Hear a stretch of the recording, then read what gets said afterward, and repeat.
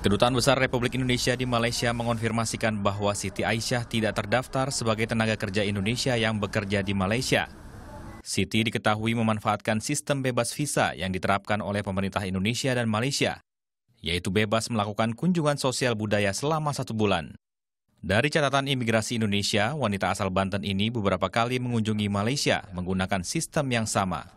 Yang kami pahami, yang bersangkutan adalah WNI yang melakukan perjalanan uh, dari Indonesia ke Malaysia berulang kali. Mungkin pada kesempatan itu dia sempat bekerja, yang uh, selamanya kita dengar dari media, atau mungkin dia pada saat kunjungan-kunjungan sebelumnya juga uh, hanya melakukan kunjungan seperti biasa.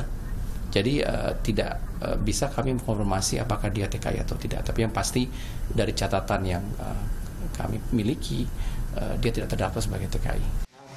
Senada dengan itu, mantan mertua Aisyah Akiong juga tegaskan, Siti Aisyah tidak memiliki izin kerja sebagai pekerja migran di Malaysia. Selama ini Siti bekerja sebagai penjaga toko pakaian.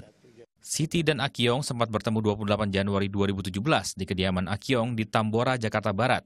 Mereka bertemu dan merayakan Imlek bersama keluarga. Enda Tarigan, Dika Widiarto melaporkan untuk NET.